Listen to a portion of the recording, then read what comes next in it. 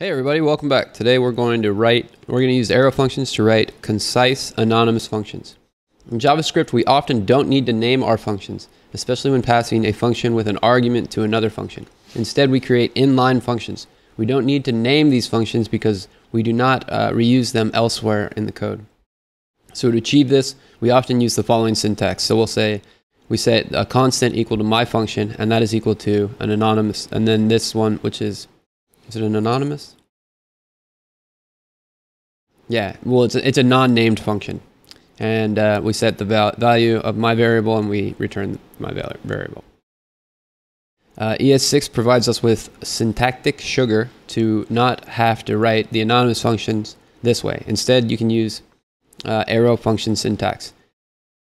So instead, in, instead of saying function, you can just leave out the word function and then just put this arrow key in instead and you get the same exact results.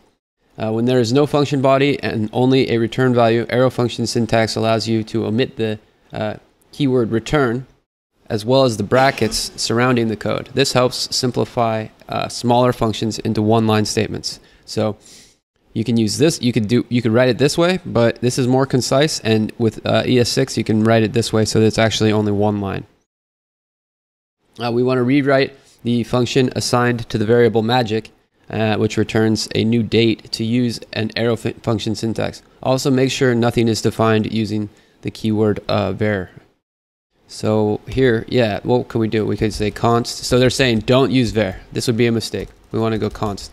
See, constant, and then we want to say uh, the magic is equal to uh, the parameters, which are empty here, and then with function, and we want to set that equal to uh, date.new.